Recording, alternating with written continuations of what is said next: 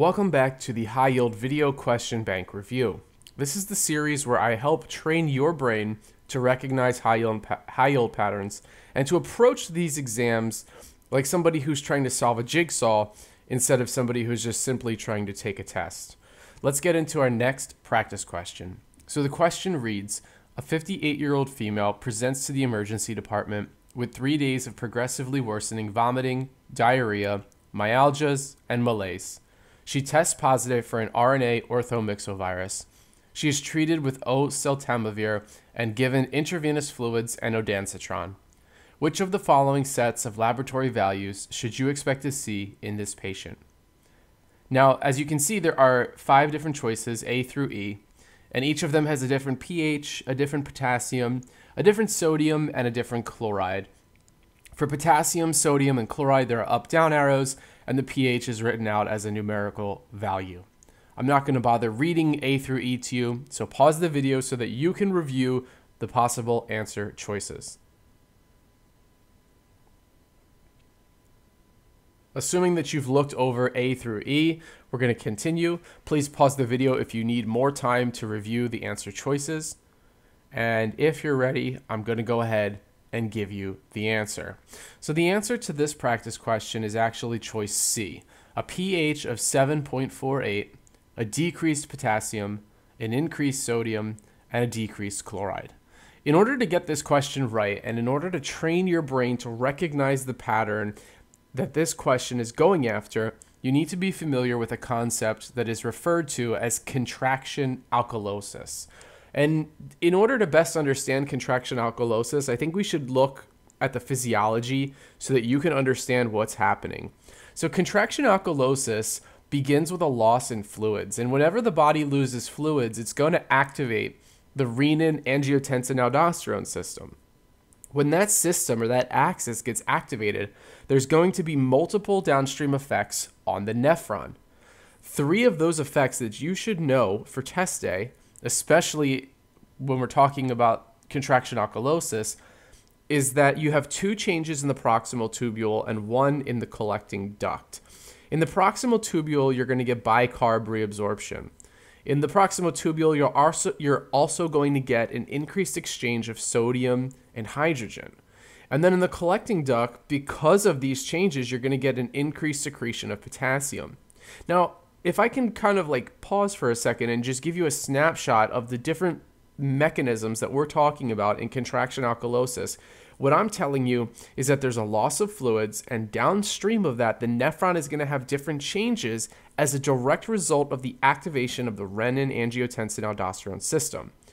So, in order to get these questions right, you have to understand physiology. It's absolutely important. And in this question in particular, this is a really high yield question. There's always going to be these questions about physiology and losses or changes in intravascular volume. And what you need to recognize is not only should you expect changes at the nephron, but you have to anticipate the actual causative loss of fluid. So in this problem, in this high yield problem in particular, you're vomiting up stomach acid and vomiting up the fluid and you're losing your intravascular volume because of mechanistic changes in the nephron.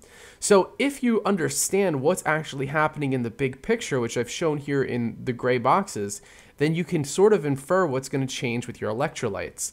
So I'll fill that in for you for your convenience. When you vomit up stomach acid, not only are you losing the intravascular volume, and downstream you're going to set off this cascade of events that causes the contraction alkalosis, but you're going to actually lose chloride. And when you lose your intravascular volume, you reabsorb bicarb, so bicarb goes up. You increase your sodium hydrogen exchange, so sodium will increase and hydrogen will go down. And because of that, you'll have an increase of potassium secretion at the collecting duct, so potassium will go down. Now, taken in, you know, together as whole, this will tell you that if we go back to our practice question, we're, going to expect the pH to go up, okay? Because we are losing hydrogen, we're reabsorbing bicarb, so that will cause a net alkalosis. So you could immediately cross out all of the answers that have a decreased pH because it has to go up. So you're already looking at choice B or choice C.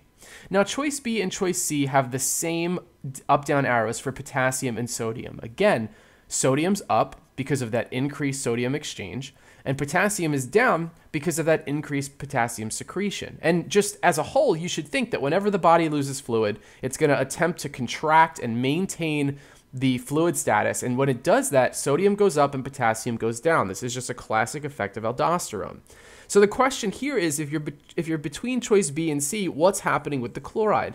And because in this case in particular the patient has had protracted vomiting, you can anticipate that they're actually vomiting up the chloride ions that are in the gastric acid. So if you're losing that, then chloride is down. And that's why choice C is the correct answer here.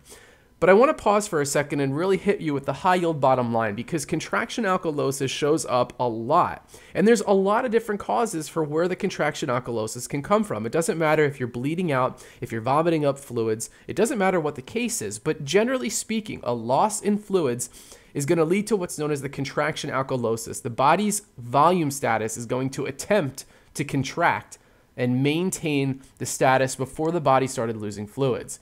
And in doing so, you obviously become alkalotic, as we've already discussed, because you're losing hydrogen and you're reabsorbing bicarb. In a contraction alkalosis, you're going to get an increase in sodium and a decrease in potassium.